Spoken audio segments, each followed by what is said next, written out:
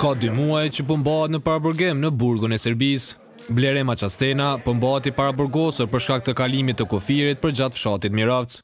Në momentin që ishte gjetur nga policia kufitare serbe, atij i ishte konfiskuar edhe një pistoletë me leje të lëshuar nga Ministria e Punëve të Mbrendshme në Kosovë. E tani Maqastena është duke u ngarkuar me dy vepra penale atë të kalimit ilegal të kufirit e atë të armëbajtjes pa leje. Familjarët e Blerimit thonë që gjendja e tij shëndetësore është e mirë e që nuk është keqtrajtuar asnjëherë nga autoritetet serbe.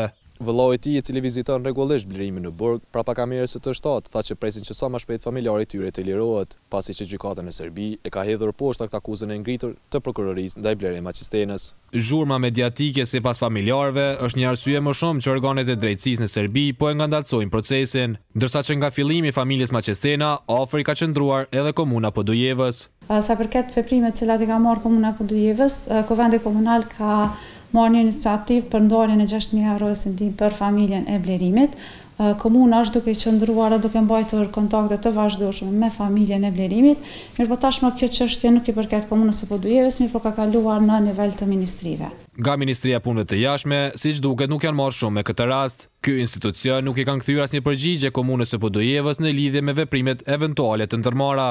Ne i kemi dërguar disa shkresa Ministrisë së Punëve të Jashtme. Fatkeqësisht ajo nuk na është përgjigjur në ato shkresa. Tashmë kjo çështje domethënë veç i takon Ministrisë së Punëve të Jashtme.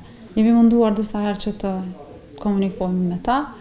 Domethënë tash kanë mbet në vazhdimësi edhe ata do të na kthejnë përgjigje edhe të shohim se si do të zgjidhet kjo çështje. Ndërsa shefi i misionit diplomatik në Beograd, Jetish Jashari nuk ka pranuar të flasë rreth kësaj çështje. Ai ka thënë që me rregullat e brendshme të Ministrisë së Punëve të Jashtme dhe Diasporës nuk kanë drejtë të bisedojnë me mediat në Kosovë. E Ministria e Punëve të Jashtme në Kosovë nuk është përgjigjur gjatë ditës së hënë interesimit të Televizionit shtatë.